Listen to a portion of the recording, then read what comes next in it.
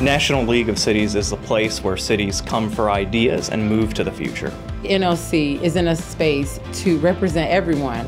NLC is 100 years old, and we're all imagining what do the next 100 years look like? We're serving mayors, council members, city staffers who are unsung heroes in local governance. National League of Cities is the greatest advocate on behalf of our cities, villages, and towns. There aren't a lot of organizations that are 100 years old, and that's really a huge milestone for us. What I love about cities is the diversity. It's very diverse, but they have the same passion. I'm surrounded by people who support me with amazing work they bring to the table to help our member cities.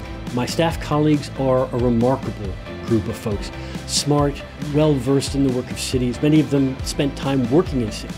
I work with people I respect, who have experience, who come from different backgrounds. What I love about cities is how relevant they are to their residents.